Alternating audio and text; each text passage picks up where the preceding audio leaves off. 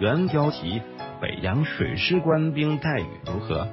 一人当兵，全家吃穿不愁，受走向共和等影视剧的影响，我们一直认为北洋水师长期遭到克扣军费，不但无法购买最新的舰船，连炮弹供应都不充足，最终在中日甲午战争中耻辱性地败给日本军队，全军覆没。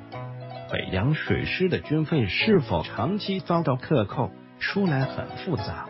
我们今天来聊一聊北洋水师官兵的待遇问题。首先是北洋水师官兵的俸禄怎么样？北洋水师官兵的俸禄由两部分组成，一部分是年俸，一部分是船俸。年俸相当于基本工资，船俸相当于岗位津贴。在普通士兵方面，一等水手年俸为幺二零两白银，一等炮木年俸为二百四十两白银，一等雷兵年俸为一百零八两白银，鱼雷将年俸为二百八十八两白银，电灯兵年俸为三六零两，轮机舱管家具为一百九十六两白银，在岸当差的夫役年俸为三十六两白银。这份俸禄标准是什么概念呢？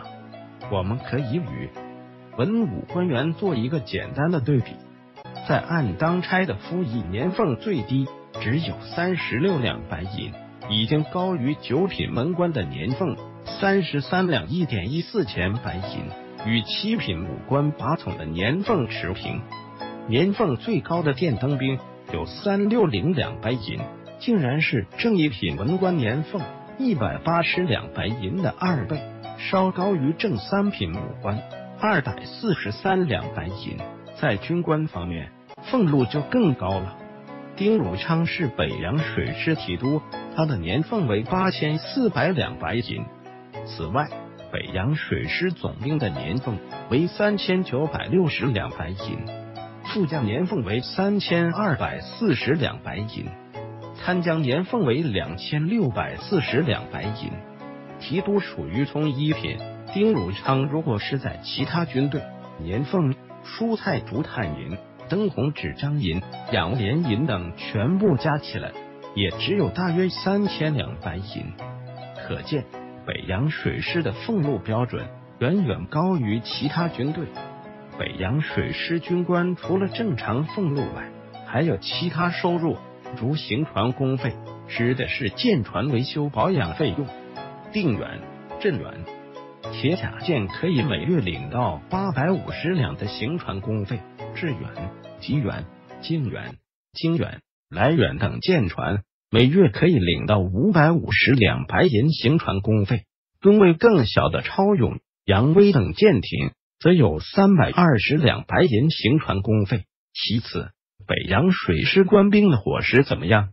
民以食为天，北洋水师官兵常年在舰船上生活，只有在伙食方面进行了充分保障，才能提供战斗力。停泊在威海湾的定远号复制舰里，介绍了舰船上的伙食。北洋水师官兵的主食有面包、肉类、米饭等，菜类有白菜、土豆、萝卜和胡萝卜等。虽然北洋水师的伙食办不到像日本海军那样精细化，但比起清朝其他军队来说，已经很滋润了。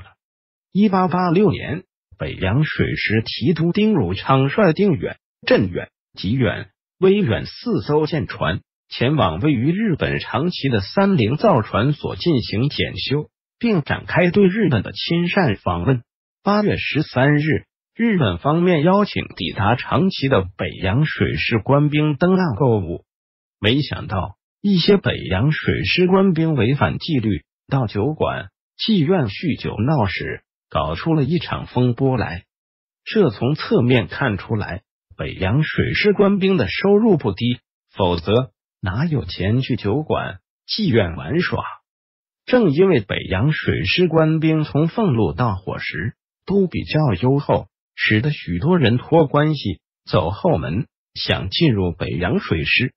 进入北洋水师的官兵也非常自豪，因为他们能够凭借一份不菲的俸禄，让全家人过上吃穿不愁的生活。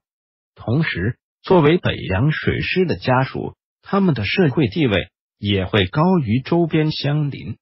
遗憾的是，享受优厚待遇的北洋水师官兵，并没有将这种优厚待遇转变成强大的战斗力，最终在各种因素的影响下，隐恨中日甲午战场。